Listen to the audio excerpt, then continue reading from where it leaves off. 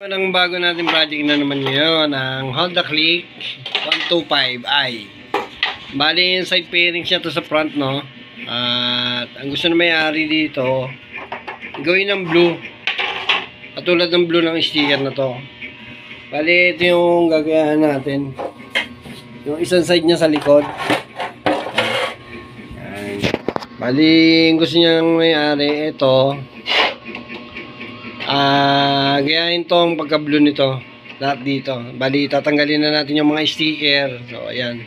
So, yan, tara, umpisa na natin. Ah, sanding muna tayo.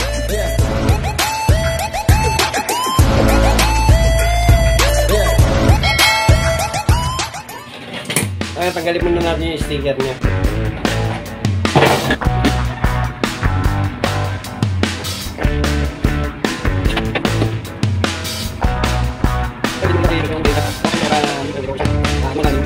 So,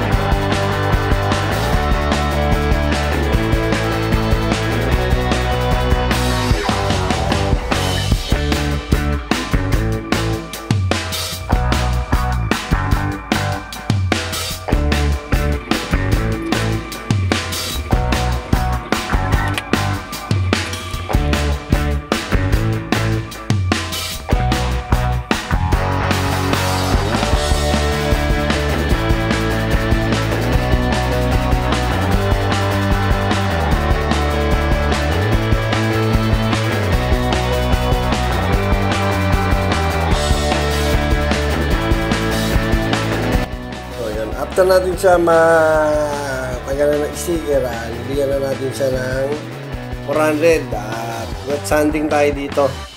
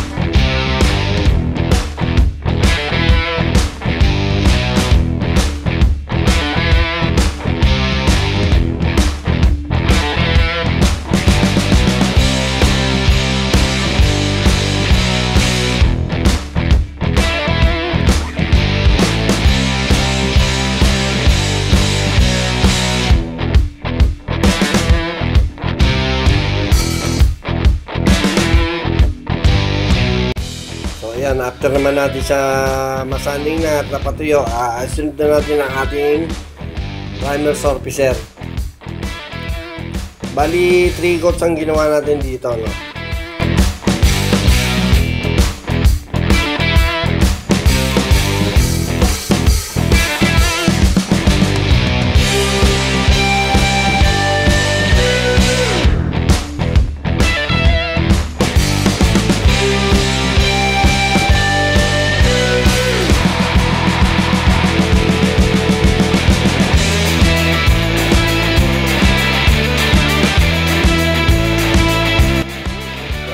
After naman natin siya ma-primeran, 1 to 2 hours, pwede na natin uli siyang i-wet sanding. At pasapasang liya lang para maalis natin ang konting gaspang ng ating primer bago natin siya i-base color.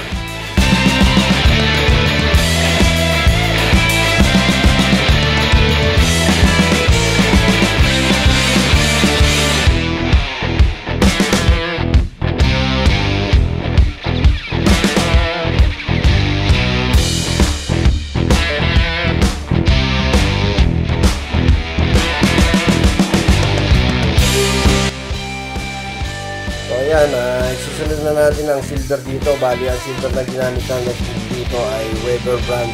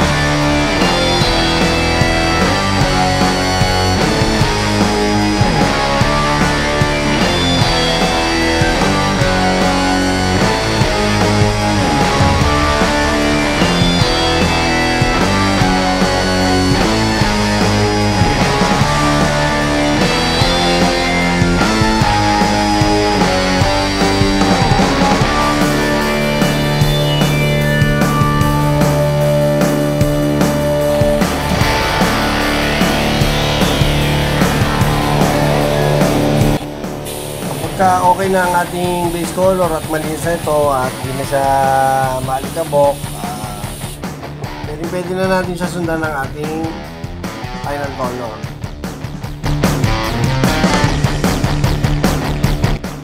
Bali, silver ang ginamit natin dito sa blue na to, pang base natin. Kasi ang blue na to ay makatawan siya kung meron siyang base na silver.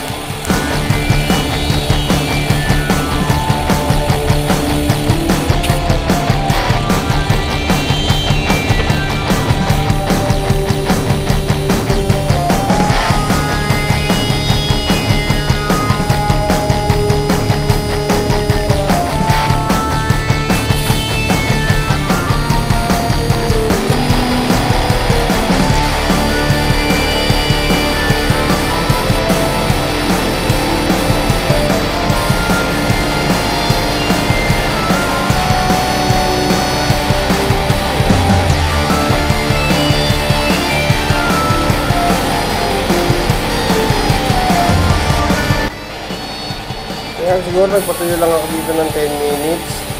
At sinundan na natin siya ng ating top coat clear.